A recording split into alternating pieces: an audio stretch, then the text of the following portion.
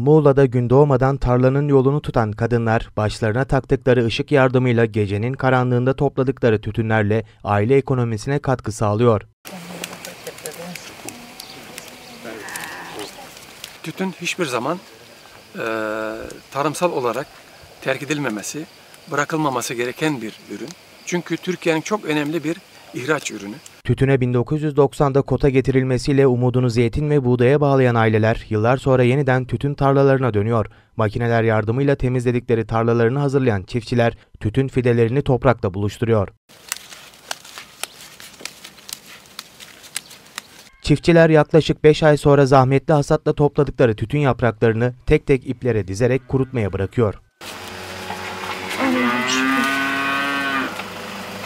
Onları fide yapıyoruz. Ondan sonra neyse, Mayıs gibi falan başlıyoruz. Çapası, sulaması. Ondan sonra kırıyoruz Haziran gibi falan. Ondan sonra öyle yapıyoruz işte kırma, dizme birinci, ikinci öyle onları yetiştiriyoruz. Beşli kalkıyoruz, 9-10 kadar falan kırıyoruz. Ondan sonra öyle. Kadın çiftçiler gün doğmadan tütün tarlalarının yolunu tutuyor. Bırakacak kimseleri olmadığı için çocuklarını da yanlarında götürüyor. Güneş batıncaya kadar çalışan kadınlar gündüz yaklaşık 40 dereceyi bulan sıcak havada tütünleri dizerek aile ekonomisine katkıda bulunuyor.